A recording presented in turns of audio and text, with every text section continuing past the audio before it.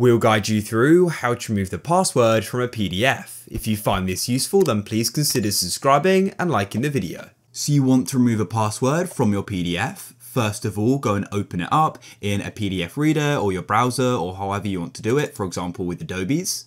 Then all you need to do is go and enter the password to go and unlock it and view it, which I'll go and do now. Now what you need to do is go and open up the print menu. You can do that by pressing Ctrl P or just clicking on the print button, wherever that is for you. In Chrome it's in the top right. Now what we need to do is choose the destination as print to PDF or save as PDF, like this.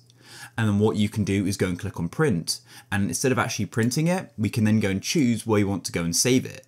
And this version you go and save is not going to have a password on. So let me just go and type in password like so, and I'll go and click save. We've now gone and saved it. And now if I go and open up, there's now no password on it. It's that simple. So if you guys found this useful, then please consider subscribing and liking the video.